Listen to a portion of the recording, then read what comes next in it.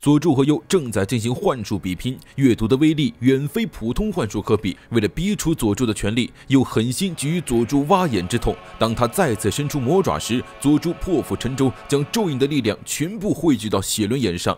狂怒的白蛇刺破了鼬的分身，幻境化作数不清的碎片。佐助捂着左眼，月读带来的剧痛实感还残留在视神经里。在旁观的黑白绝看来，幻术中的厮杀不过一瞬间的对视，佐助倒下了，战斗已经分。出了胜负。让人意想不到的是，又突然捂着眼跪倒，佐助竟然将月毒给破解了。虽然佐助只有普通写轮眼，却能战胜万花筒的阅读，正如高手用树枝也能敌过绝世宝剑的道理。看来佐助的才能已经超出了鼬的想象。佐助说：“无论鼬如何使用瞳力，他都会用憎恨将杀死他的幻象变成现实。”鼬心中欣慰的笑了。佐助已经通过了他的第一重考验，他确实变强了。但是第二重考验可就没那么容易了。连绝都知道鼬将要使用天照了。左眼的阅读是最强的幻术攻击，右眼的天照则是最强的物理攻击。佐助显然做足了功课，知道天照的厉害。永不熄灭的黑炎会将映入眼帘的万物焚烧殆尽，他不会让鼬得逞。风魔手里剑再次射出，这一次是影手里剑之术，剑刃上还附带千鸟，有一个鲤鱼打挺。佐助赶紧拉动钢丝，手里的剑半空解体，射出刀刃，狠狠扎进了鼬的大腿。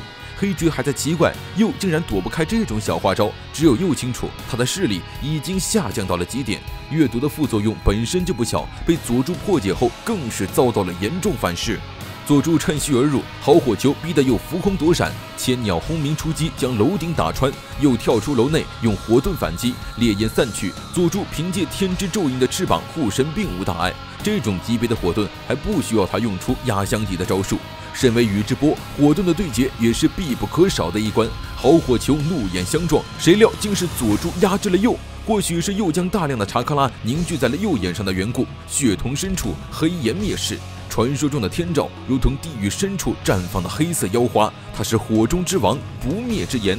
眼看佐助被天照震慑，险些遭到吞噬，又赶紧闭上了眼睛。佐助这才反应过来，知道天照的厉害，不敢硬接，绕着楼顶撒腿就跑。鼬的视线不紧不慢地跟在佐助身后，铺天盖地的黑炎将周遭团团包围，最后终于追上了佐助的翅膀。佐助刚被烧了没两下，鼬立即关闭了天照。他伸手去试探弟弟的伤势，菊还以为他要夺取眼睛，果然不出所料，佐助凭借大蛇丸流替身术躲开了伤害，又用千鸟劈开楼顶藏身，将保命忍术留给敌人的致命攻击可是战斗的常识，千载难逢的好机会。佐助发动天之咒印。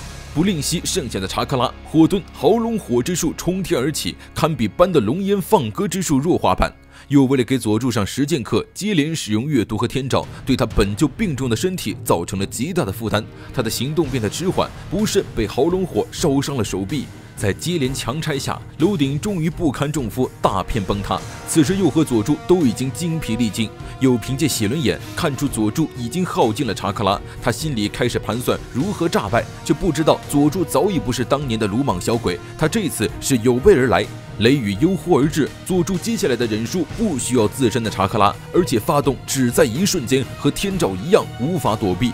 黑菊忽然醒悟，原来佐助刚才朝天空放豪龙火，引诱在室外发动天照，都是为了让大气升温，引发上升气流，从而制造雷云。此术名为麒麟。佐助不过是将天地之威引导向罪孽深重之人，落雷只有千分之一的时间，甚至超越了音速，凡人的速度绝对无法躲避。天雷地火，血海深仇，这场雷劫正是佐助为鼬精心准备的葬礼。迎灭吧，鼬！麒麟裹挟阵阵狂雷，轰然从天空落下，瞬息之间天崩地裂，宇智波据点化为了废墟。佐助望着倒下的鼬，血轮眼一关，脱离跪倒，结束了，终于结束了。这就是你想要再现的我死去的样子吗？鼬的声音像一颗炸雷。佐助跳了起来，他竟然逃过了雷劫。佐助强行发动咒印，鼬的身上燃起了红色查克拉火焰，续骨生机，披甲直锐，浴火重生的战神巍然而立。鼬看着变强的佐助，心中多了一份欣慰。或许刚才倒在麒麟之怒下是个不错的结局，但他还有最后一刻要交给佐助。又向佐助解释说，这是月读和天照这两种能力同时开眼时，寄宿在双眼中的须佐能乎之术，万花筒的极致力量。天空已经放晴，麒麟之术无法再用。佐助，你的忍术到此为止了吗？如果还有隐藏的力量，不用舍不得用出来。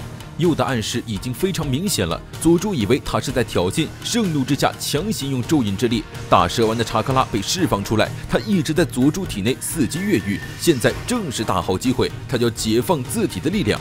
白蛇从咒印处汹涌而出，迎风怒掌，化为八首八尾的恐怖大蛇。大蛇丸的大招八岐大蛇之术，须佐能乎和八岐大蛇重演神话之战，厮杀不过数合，七颗蛇首迎刃而落。蛇口中钻出一个湿漉漉的男贞子，该出现的东西终于出现了。又费尽心思逼出佐助的全力，就是在等大蛇丸的出现。只有消灭这个蛇一样难缠的家伙，才能将佐助从咒印的束缚中彻底解放。大蛇丸从口中吐出草地剑，看得白绝直作呕。这黏糊糊的家伙，许久不见还是这么恶心。好不容易逃狱成功的大蛇丸洋洋自得，扬言要趁机夺取佐助的身体，又二话不说，一刀刺穿了大蛇丸的身体。其无敌者势必杀之。大蛇丸冷笑，这种程度的攻击看不起谁呢？他没笑两声，突然察觉到不对，身体突然被刀吸走。他认出这是自己苦苦寻觅的传说级神器十拳剑，能够将刺中的人永久封印进醉梦世界。可怜大蛇丸刚刚出狱，还以为可以为所欲为，没想到不过是换了一间牢房。他偷偷放出一条小白蛇藏匿，企图苟且偷生，可惜最后也被天照活活烧死。在菊看来，佐助的查克拉耗尽，大蛇丸也被封印，看来鼬已经赢定了。而鼬突然咳血，他这副病入膏肓的身体已经快到极限，依然强撑着在佐助面前演戏。这样一来，你的眼睛就是我的东西了，让我慢慢拿到它吧。须佐能乎的力量慢慢消退，佐助不肯束手就擒，将绑着起爆符的苦无尽数射出。须佐能乎手持盾牌，将爆炸轻易挡下。见多识广的黑绝立即看出，那面盾牌也不是俗物，是名为八尺镜的神器，它能够将所有东西摊开，配合自带封印术的十拳剑，堪称无敌的搭配。又脚步蹒跚的走来，佐助拔剑便刺，反被八尺镜弹出老远。当他起身时，又已经近身，吓得他连忙后退，背后却是一面断墙。又缓缓伸出血淋淋的手，佐助想起了挖眼之痛，双腿开始不住的打颤。这一回谁也救不了他，身为复仇者的人竟然败在了仇人手里，实在是天大的笑话。